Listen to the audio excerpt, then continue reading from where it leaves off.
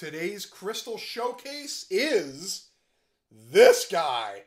And woo! Look at this thing. I picked this up probably about five, six years ago now.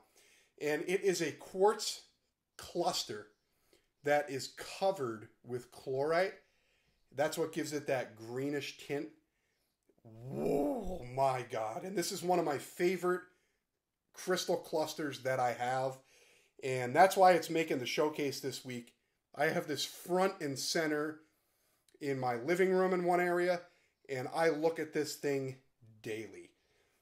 And I will have to make a video on the benefits and the metaphysical properties of quartz with chlorite on it because it's a little different. You get a little different vibe from it than just plain quartz.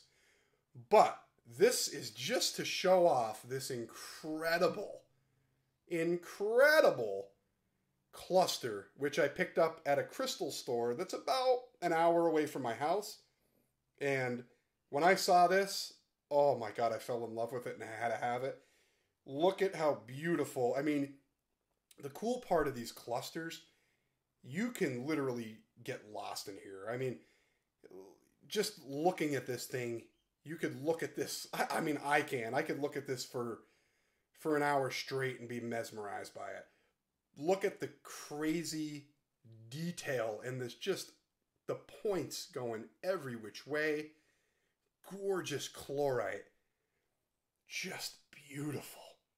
So that's why this is making the showcase because it's one of my favorite pieces. And I see this every single day in my house. And it, it just mesmerizes me every time.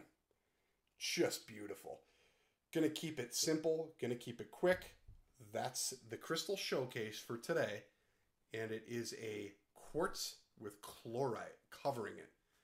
Awesome. See you guys next time.